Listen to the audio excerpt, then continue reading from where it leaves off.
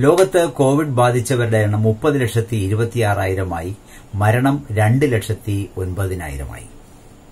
ഇനി തമാശ പറഞ്ഞാൽ തമാശയായി എടുക്കണം. കാര്യം പറഞ്ഞാൽ അത് തമാശയായി എടുക്കരുത്. ഇത് പറഞ്ഞത് വേറെ ആരുമല്ല ട്രംപ് തന്നെയാണ്.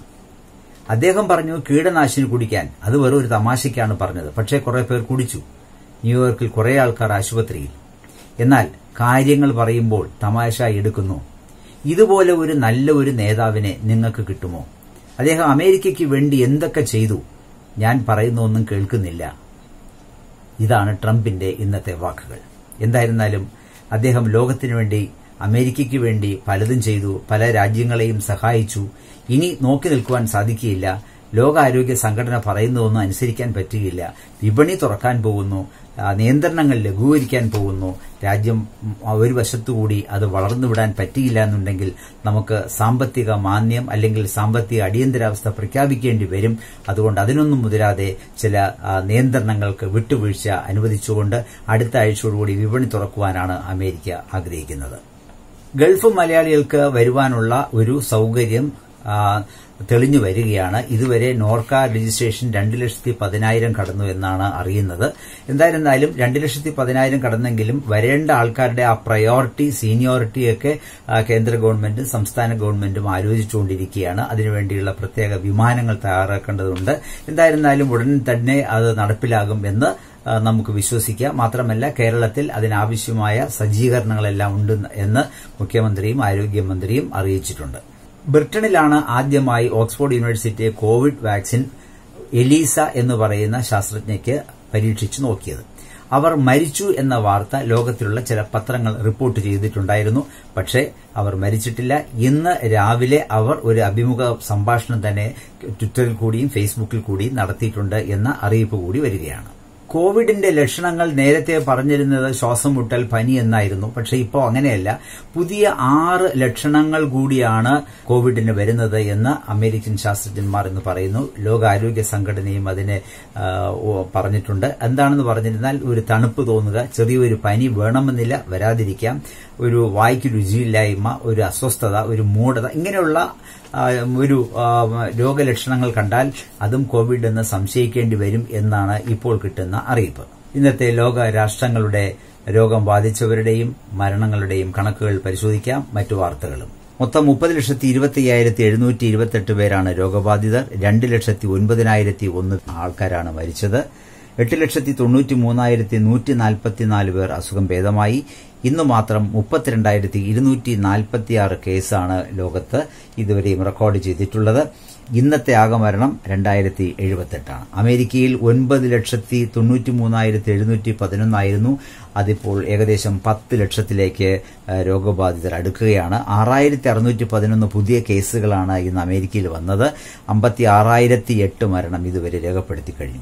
സ്പെയിനിൽ രണ്ട് ലക്ഷത്തി ഇരുപത്തി ഒമ്പതിനായിരത്തി നാനൂറ്റി ഇരുപത്തിരണ്ട് രോഗികളായി. ഇന്ന് രണ്ടായിരത്തി എഴുന്നൂറ്റി തൊണ്ണൂറ്റി മൂന്ന് പുതിയ കേസുകൾ ഇരുപത്തിമൂന്നായിരത്തി അഞ്ഞൂറ്റി ഇരുപത്തൊന്ന് മരണം. ഇറ്റലി രണ്ട് ലക്ഷത്തോട് അടുക്കുകയാണ്. ഇറ്റലി ഇപ്പോൾ ഒരു ലക്ഷത്തി തൊണ്ണൂറ്റൊമ്പതിനായിരത്തി അറുന്നൂറായി. ആയിരത്തി എഴുന്നൂറ്റി മുപ്പത്തൊൻപത് കേസുകൾ ഇരുപത്തിയാറായിരത്തി തൊള്ളായിരത്തി എഴുപത്തിയേഴ് അതായത് ഇരുപത്തിയേഴായിരം മരണത്തിലോട്ടെടുക്കുന്നു ഫ്രാൻസ് ഒരു ലക്ഷത്തി അറുപത്തിരണ്ടായിരത്തി ഒരുന്നൂറും ഇരുപത്തിരണ്ടായിരത്തി എണ്ണൂറ്റി അമ്പത്തി ആറും മരണമാണ്. ജർമ്മനിയിൽ ഒരു ലക്ഷത്തി അൻപത്തെട്ടായിരത്തി നൂറ്റി നാൽപ്പത്തിരണ്ടും അയ്യായിരത്തി തൊള്ളായിരത്തി എൺപത്തഞ്ച് ഇതുവരെയുള്ള മരണം. യു കെ ഒരു ലക്ഷത്തി അൻപത്തിരണ്ടായിരത്തി എണ്ണൂറ്റി നാൽപ്പത് ഇരുപതിനായിരത്തി എഴുന്നൂറ്റി മുപ്പത്തിരണ്ടാണ്. ഇറാൻ തൊണ്ണൂറ്റൊന്നായിരത്തി നാനൂറ്റി എഴുപത്തിരണ്ടായി റഷ്യ എൺപത്തിയേഴായിരത്തി നൂറ്റി നാൽപ്പത്തിയേഴായി റഷ്യയിൽ നിന്ന് ആറായിരത്തി ഒരുന്നൂറ്റി തൊണ്ണൂറ്റെട്ട് പുതിയ കേസുകളാണ് മരണം. ഇന്ന് നാൽപ്പത്തിയേഴ് മരണം കൂടി റിപ്പോർട്ട് ചെയ്യപ്പെട്ടിട്ടുണ്ട്. ഇന്ത്യയിൽ ഇരുപത്തെട്ടായിരത്തി മുന്നൂറ്റി എൺപത് കേസുകളായി നാനൂറ്റി തൊണ്ണൂറ് പേരാണ് ഇന്ന് വന്ന പുതിയ കേസുകൾ. അങ്ങനെ എണ്ണൂറ്റി എൺപത്തിയാറ് മരണം ഇതുവരെയായി. ഇന്ന് അഞ്ചു പേർ മരിച്ചിട്ടുണ്ട്. സൗദിയിൽ പതിനെട്ടായിരത്തി എണ്ണൂറ്റി പതിനൊന്നായി രോഗബാധിതർ ഇന്ന് ആയിരത്തി ഇരുന്നൂറ്റി എൺപത്തിയൊൻപത് പുതിയ കേസുകൾ ഇന്ന് മരിച്ചവർ അഞ്ച് ഇതുവരെ മരണം നൂറ്റി നാൽപ്പത്തിനാലായി സിംഗപ്പൂരിൽ പതിനാലായിരത്തി നാനൂറ്റി ഇരുപത്തിമൂന്ന് പേരാണ് ഇതുവരെ രോഗം ബാധിച്ചവർ എഴുന്നൂറ്റി തൊണ്ണൂറ്റിയൊൻപത് പുതിയ കേസുകൾ പതിനാല് പേരായി ഇതുവരെ മരണം ഇന്ന് രണ്ടുപേർ മരിച്ചു. പാകിസ്ഥാനിൽ ഇന്ന് പതിനൊന്ന് പേർ മരിച്ചു ഇരുന്നൂറ്റി തൊണ്ണൂറ്റിരണ്ടായി ഇതുവരെ മരണം. ഇന്ന് അഞ്ഞൂറ്റി എൺപത്തൊന്ന് കേസുകളാണ്. ഖത്തറിൽ പതിനൊന്നായിരത്തി ഇരുന്നൂറ്റി നാൽപ്പത്തിനാല് രോഗികളായി തൊള്ളായിരത്തി അൻപത്തേഴ് പുതിയ കേസുകൾ ആകെ മരണം പത്തായി. യു എയിൽ പതിനായിരത്തി മുന്നൂറ്റി നാൽപ്പത്തൊമ്പതായി എഴുപത്തിയാറായി ഇതുവരെ മരണം. ബഹ്റിനിൽ രണ്ടായിരത്തി എഴുന്നൂറ്റെട്ട് പേരും ഒമ്മൻ രണ്ടായിരത്തി നാൽപ്പത്തി ഒൻപതും കുവൈറ്റിൽ മൂവായിരത്തി ഇരുന്നൂറ്റി എൺപത്തെട്ടും രോഗികളാണ് ഉള്ളത്. ഗൾഫിൽ രോഗബാധിതരുടെ എണ്ണം കൂടി വരികയാണ്. മറ്റു ചില വാർത്തകൾ നോക്കാം. മൂന്ന് വർഷത്തേക്ക് ഉമർ അക്മലിനെ ക്രിക്കറ്റിൽ നിന്നും വിലക്കി പാകിസ്ഥാൻ. ഒമാനിൽ അൻപത്തൊന്ന് പേർ കൂടി കോവിഡ് സ്ഥിരീകരിച്ചു. ഉത്തര കൊറിയയുടെ ഏകാധിപതി ജീവനോടെ ഉണ്ടെന്ന് ദക്ഷിണ കൊറിയ. തൊഴിലില്ലായ്മ ഗുരുതരമായി അമേരിക്കയിൽ ഇറ്റലിയിലും സ്പെയിനിലും അതുപോലെ തുടരുന്നു. സൗദിയിൽ പതിനെട്ട് വയസ്സിന് താഴെയുള്ളവർക്ക് ഇനി വധശിക്ഷയില്ല. ജർമ്മനിയിൽ അങ്കമാലി സ്വദേശിനി ആയ ഒരു നഴ്സ് പ്രേം ജോയ് മരിച്ചു. കോവിഡ് ബാധിച്ചായിരുന്നു. അമേരിക്കയിൽ കഴിഞ്ഞ ഇരുപത്തിനാല് മണിക്കൂറിൽ ആയിരത്തി മുന്നൂറ്റി അൻപത് മരണം രേഖപ്പെടുത്തിയിട്ടുണ്ട്. സൗദിയിൽ ഇരുപത്തിനാല് മണിക്കൂറിലൂടെ ആയിരത്തി ഇരുന്നൂറ്റി ഇരുപത്തിമൂന്ന് പേർക്ക് രോഗം സ്ഥിരീകരിച്ചിട്ടുണ്ട്. കോവിഡിനെ പറ്റി നൽകുന്ന വിവരമാണ് ആരോഗ്യ സേതു എന്ന ആപ്പ്.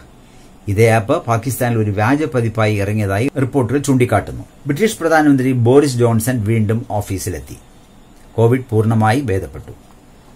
ഒരു വർഷമെങ്കിലും വേണം കോവിഡ് വാക്സിൻ കണ്ടുപിടിക്കാനെന്ന് ബിൽ ഗേറ്റ്സ്. ബി ആർ ഷെട്ടിയുടെ ബാങ്ക് അക്കൌണ്ടുകൾ യു എയിൽ മരവിപ്പിച്ചു. ഓസോൺ പാളിയിലെ വലിയ ദ്വാരം അടഞ്ഞെന്ന് ഗവേഷകർ. ഒമാനിൽ അമ്പത്തിയൊന്ന് പേർക്ക് കൂടി കോവിഡ് ഇസ്രയേൽ ആരോഗ്യമന്ത്രി രാജിവയ്ക്കാൻ ഒരുങ്ങുന്നു.